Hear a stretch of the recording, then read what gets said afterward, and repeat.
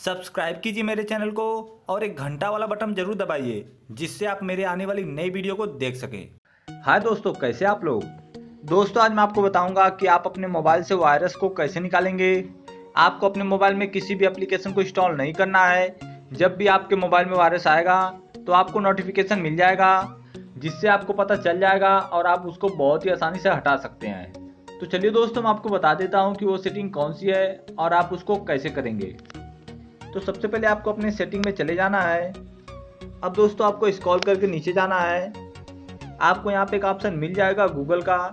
शायद आपके मोबाइल में गूगल अकाउंट करके हो, लेकिन ज़रूर होगा। तो आपको सिंपली इसको ओपन कर लेना है। अब आपको यहाँ पे बहुत सारे ऑप्शन मिल जाएँगे। तो आपको स्क्रॉल करके नीचे जाना है। यहाँ पे आपको एक ऑप्शन मिल जाएगा सिक्योरिटी का। तो मैं इस पर क्लिक कर देता हूँ। और फिर आपको यहाँ पे कुछ ऑप्शन मिल जाएँगे।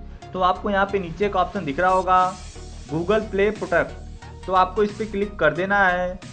अब दोस्तों, आपको यहाँ पे कुछ ऑप्शन मिल जाएँगे। आप देख सकते हैं, यहाँ पे लिखा हुआ है कि अगर आप इसको ऑन कर देते हैं तो ये रेगुलर आपके एप्लीकेशन को चेक करेगा। अगर उसमें कुछ वायरस मिलता है तो आपको नोटिफिकेशन दे देगा। अब दोस्तों, आपको नीचे दो ऑप्शन मिल जाएँगे तो आप इसको ऑन कर दीजिए। तो दोस्तों, आप देख सकते हैं कि ऑन हो गया। अब अगर हमारे मोबाइल में कुछ भी वायरस आएगा तो ये हमको नोटिफिकेशन से सूचित कर देगा।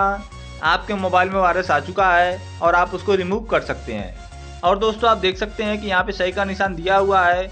इसका मतलब अभी मेरे मोबाइल में एक भी वायरस नहीं है। तो इस तरह से आपको एक सेटिंग करना है। उसके बाद आपको पता चल जाएगा कि आपके मोबाइल में कितना वायरस है। तो दोस्तों, आज की वीडियो में बस इतना ही।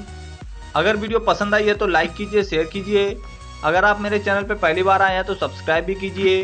तो ठीक है दोस्तों, मिलते हैं नेक्स्ट वीडियो में।